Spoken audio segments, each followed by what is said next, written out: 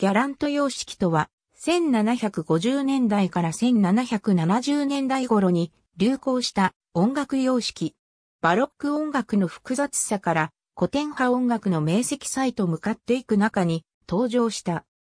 ギャラント様式は多くの点でバロック様式のケバケバしさへの反発であり、バロック音楽に比べるとより素朴でゴテゴテと飾り立てておらず、流麗な主旋律の重視に伴い、ホモフォニックなテクスチャーと学説構造の軽減や火星法の抑制といった特徴がある。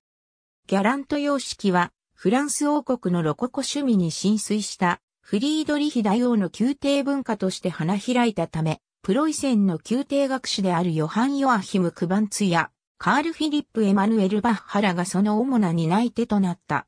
しかし、先駆者としてゲオルク・フィリップ・テレマンの存在も無視することができない。他の主要なギャラント趣味の作曲家として、ドイツのビルヘルム・フリーデマンバッハや、ヨハン・ゴットリープ・グラウン、カール・ハインリッヒ・グラウン、イングランドのトマス・アーンや、ウィリアム・ボイス、ジョン・スタンリーなどが挙げられる。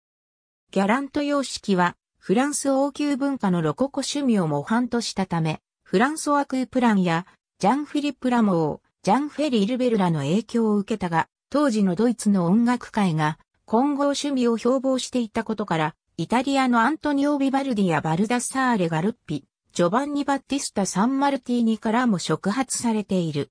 ギャラント様式は、同時期に進行した多感様式としばしば区別がつきにくく、ほとんど同義語にすらなっている。ありがとうございます。